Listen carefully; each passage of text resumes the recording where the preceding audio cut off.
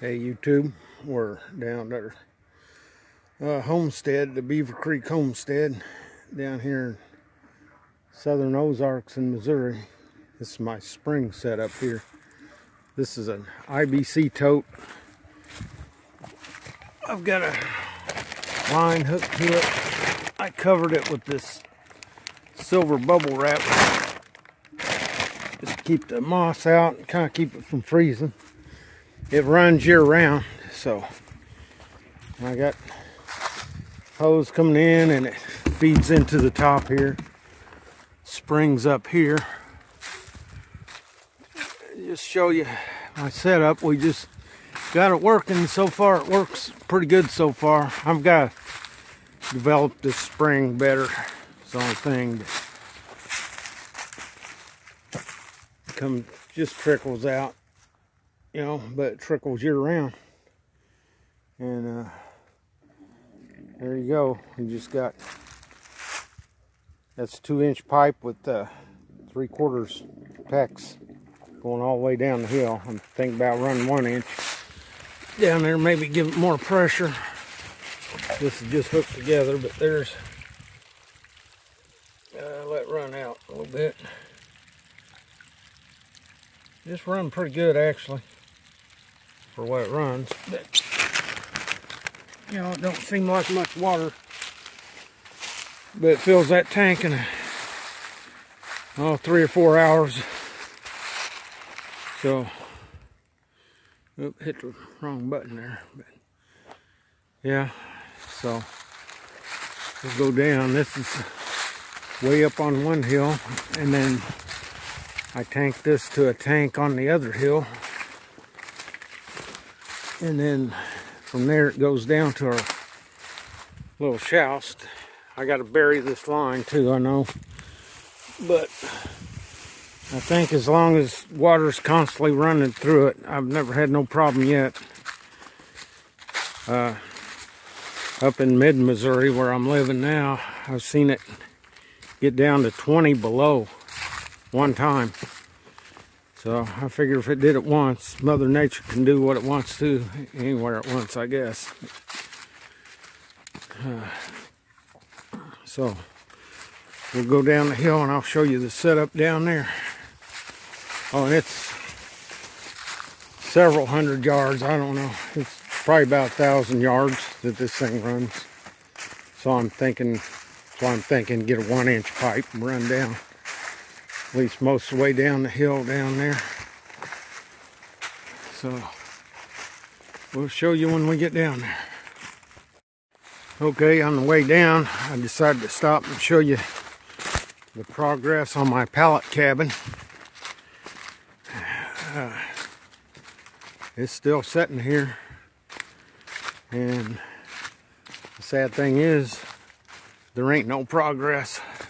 Probably this spring. I'll get to showing you a little more, but I don't know if you can see my little creek down there. You have pretty good, it's not real far to the other hill right there, and it goes up, but I clear a little bit of this brush out. So it'd be nice sitting out there sipping on a lemonade or iced tea just watching the creek in the woods. All right, we'll go on down. Okay, we're down here at the bottom of the hill. My trailer, my outdoor shower, which we're not taking showers this time of year out here. Um, anyway, the hose comes all the way down the hill. Switch from blue to red. Don't make no difference to me, but Anyway, we got a hose. Get, I don't know if you can see that hose over there. Goes up on that hill over there. So we'll go over there and I'll show you. Okay, and here's the shoust. Well, it's a shed house. Got an apartment in that one end he's living in.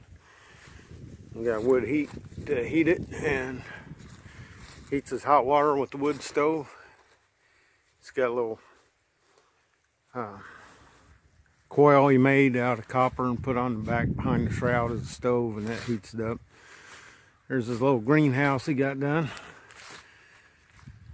And up there, that white, that's a big tank up there. So we'll go up there and I'll show you what we got going on.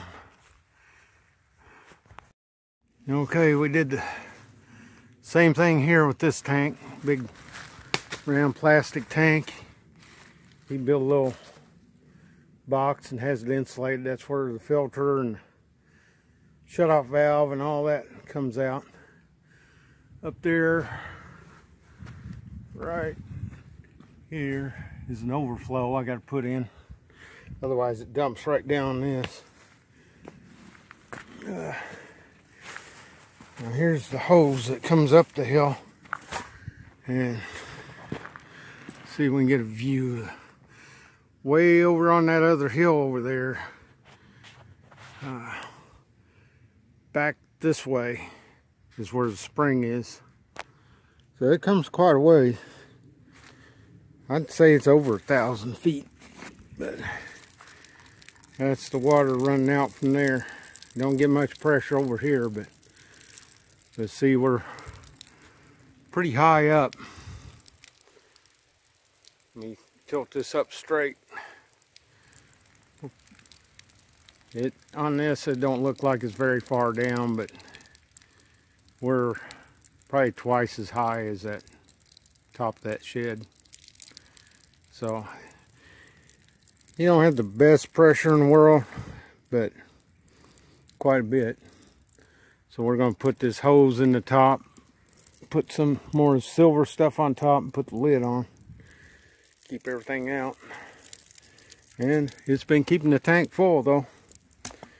We've had some pretty cold weather so far, so uh, excuse me from waving the camera around. Anyway, that's our water situation.